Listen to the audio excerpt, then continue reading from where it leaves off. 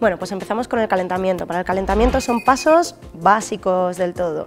Nos basamos en el aeróbic, la actividad se basa en el aeróbic, entonces pues eso, podemos empezar simplemente con, con desplazamientos lado-lado, paso-toco, también trabajo de femoral, con brazo para ir calentando todos los grupos musculares o incluso algo de rodilla, ya que vamos a trabajar sobre todo el tren inferior, pues hacer algún calentamiento más intenso, desplazamientos dobles, con brazos hacia adelante o hacia atrás o incluso cruzamos un poquito, esto puede ser lo más complicado que tengamos en el gap.